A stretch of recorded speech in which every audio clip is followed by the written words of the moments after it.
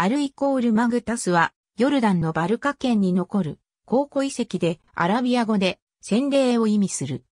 かつて洗礼者ヨハネが活動し、イエスの洗礼も行われたヨルダン川東岸の場所ベタニアと考えられており、遅くとも東ローマ帝国時代までには数形の対象となっていた場所である。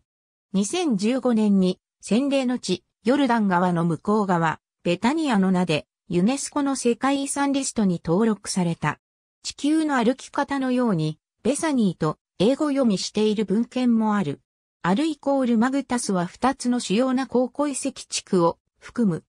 すなわち、エリアの丘として知られる丘に残る、修道院の遺構の区域と、聖堂、洗礼の池、巡礼者、忍者の住居などの遺構が残る、川沿いの区域とである。その2カ所はワディカラールと呼ばれる小川でつながっている。エルサレムと王の道の間という交通の要衝としての位置づけは、イスラエル民族がそこからヨルダン川を渡ったとする、吉脇の記述からもすでに明らかである。エリアの丘は、預言者エリアが生きたまま天に上げられた場所と伝えられている。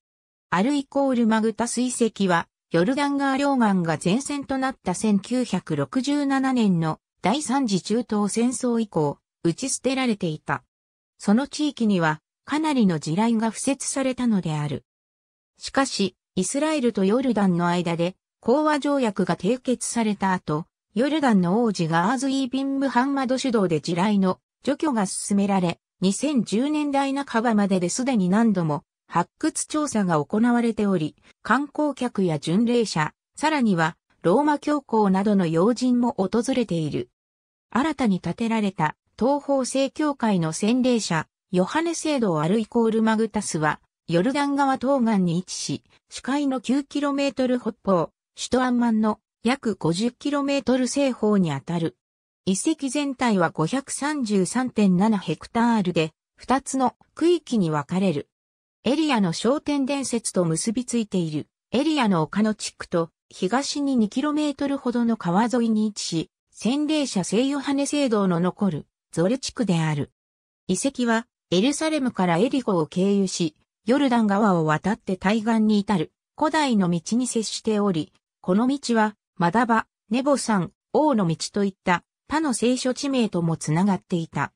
もともと数形の対象となっていた中心地はヨルダン川東岸であったが、6世紀までには西岸に移った。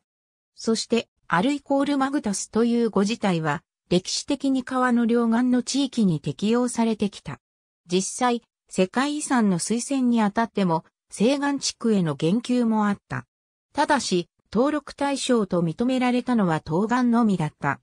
2015年11月には、遺跡が Google ストリートビューでも閲覧可能になった。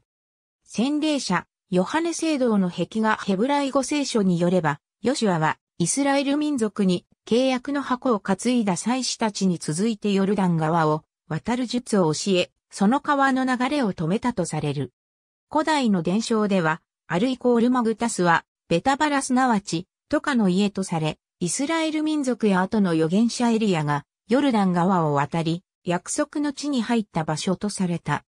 ヘブライ語聖書はまた、預言者エリアがエリシャを伴ってヨルダン川の水を、せき止め、東岸に渡った後に天に上げられたことと、エリアの後継者となったエリシャが再び水をせき止めて、西岸に戻ったことを記している。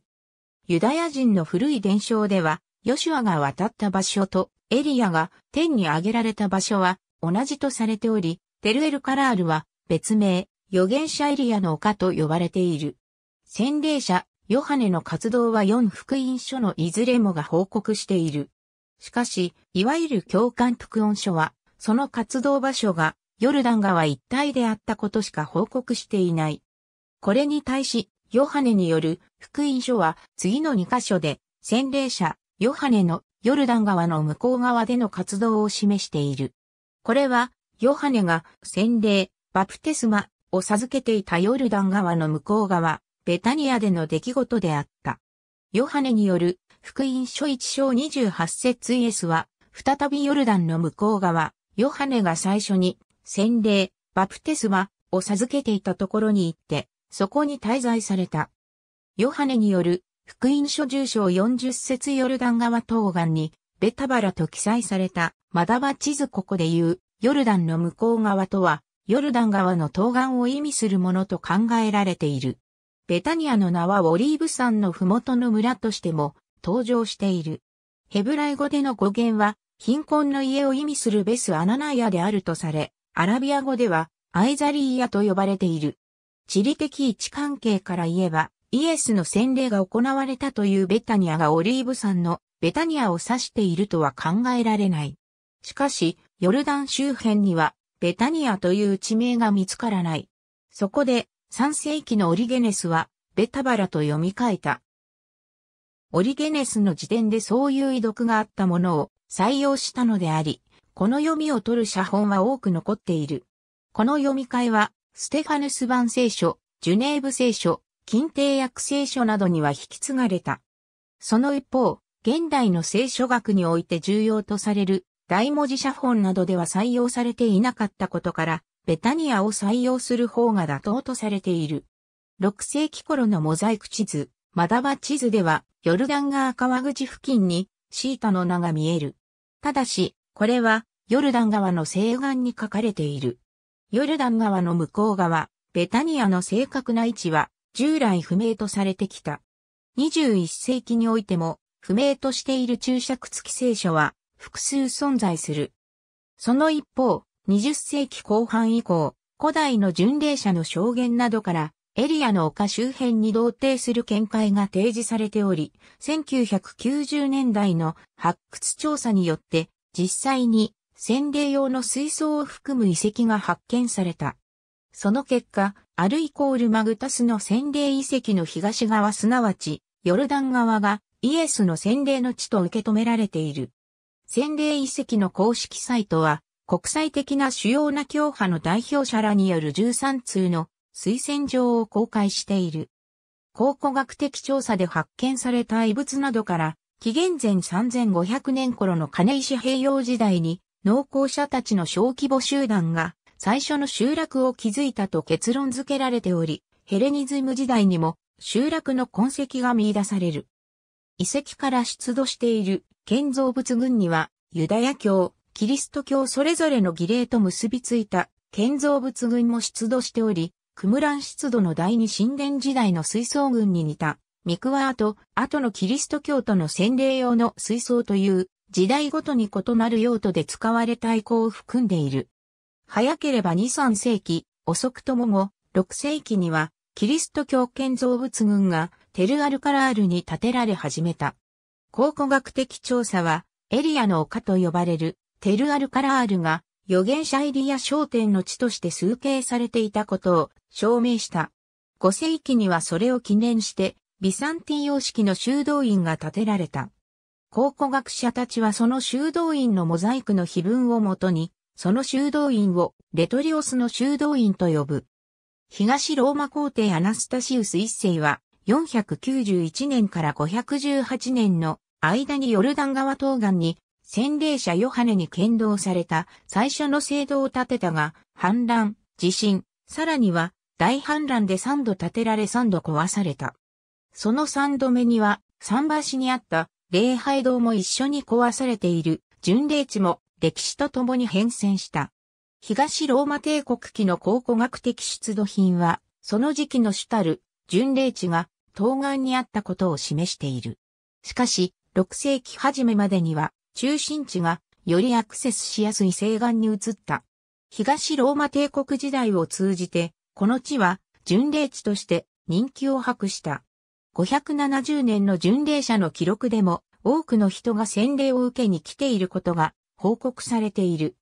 東岸ことにワディアルカラールでのそうした活動は614年のササン朝、ペルシアによる破壊、河川の氾濫、地震、ムスリムの侵攻などによって終焉を迎えた。ムスリムの占領によって東岸にあった東ローマ帝国期の建造物群は基本的にその役割を停止したが、いくつかの建物の移行はムスリムの支配下にあってもその初期に使用され続けていた形跡がある。やがて礼拝は川を挟んだ西岸の化するエルやフドで行われるようになり、670年以降、洗礼遺跡の祝典も西岸で行われるようになった。建造物群は何度も再建されたが、15世紀末までに最終的に打ち捨てられた。13世紀には初期ビザンティン修道院の跡地の上に正教会の修道院が建てられたが、その活動がどのくらい続いていたのかは未証である。ただ、この地への巡礼は衰退しており、1484年のある巡礼者の記録では、すでに廃墟となっていたことが報告されている。15世紀から19世紀には、巡礼者が訪れることはほとんどなくなっていた。東ローマ帝国期の忍者であるエジプトの聖マリアに建造された小さな礼拝堂が19世紀に建てられたが、これも1927年の地震で崩れてしまった。20世紀初頭には、この地域のヨルダン川東岸地区には農耕集落ができていた。水のない状態の洗礼遺跡第三次中東、戦争の結果、ヨルダン川は停戦ラインとして、両岸ともが軍事的に重要になり、巡礼者たちが立ち寄れなくなった。1982年以降、カスル、エルやフドは立ち入り禁止のままだったが、イスラエルはそれより北方のヤルデニと遺跡でのキリスト教徒の洗礼は許諾した。1994年のヨルダンとイスラエル間の和平に続き、宗教史に強い関心を抱いていたヨルダン王子、ガーズイが、フランシスコ会士の考古学者に、何が洗礼遺跡となっているか実験すべきと説得されて、一緒に訪れた後に、遺跡への接近が再開された。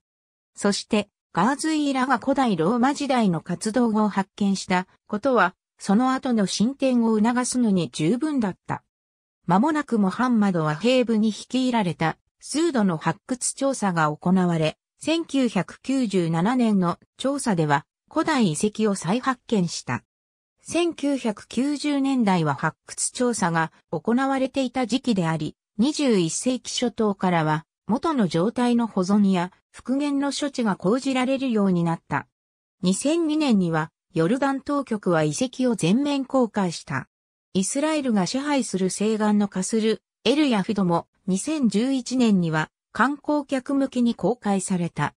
2007年にはこの遺跡を題材としてイエス・キリストの洗礼、ヨルダン川の向こう側、ベタニアの発掘と題するドキュメンタリー作品が制作された。ただ、多くの観光客を引きつけてきたのは、ヨルダン川よりもイスラエルが支配する西側の方で、その差は50万人と数万人とも30万人と10万人とも言われている。BBC はイスラエル側のヤルデニトには年間40万人以上が訪れているとした。イスラエルとヨルダンは洗礼者ヨハネの活動場所について争ってきたが、その背景としてフィナンシャルタイムズドイツ版は観光客獲得競争を指摘している。遺跡を訪れるウラジーミル・プーチンミレニアムが祝われた2000年には、ヨハネ・パウロ2世がローマ教皇として初めてアルイコールマグタスを訪れた。それに続き、教皇庁の関係者や国賓級の訪問者らが訪れた。2002年には遺跡の発見を初めてキリスト教徒たちによってイエスの洗礼を祝った。それ以降毎年、数千人のキリスト教巡礼者が訪れ、ヨルダン川の向こう側、ベタニアでのイエスの公言を祝っている。また、2002年以降は、遺跡が観光客にも公開されているため、巡礼者だけでなく、観光客も引きも切らずに訪れている。2015年には、国際連合教育科学文化機関の世界遺産リストにも登録された。ただし、対象となるのは、東岸の遺跡地区だけであって、イスラエル側の化するエルやフドは含まれない。ヨルダン側の洗礼遺跡は、国王アブドゥッター2世に任命された者たちで、構成される独立した委員会、洗礼遺跡委員会によって管理されている。1990年代の考古学的発掘調査は、教会、礼拝道群、修道院、忍者たちが使った洞窟群、水槽群を含む古代ローマ、ビサンティン時代の宗教的建造物群の存在を明らかにした。それぞれの調査は、アメリカ合衆国やフィンランドなどの様々な国及びドイツプロテスタント研究所などの支援を受けた。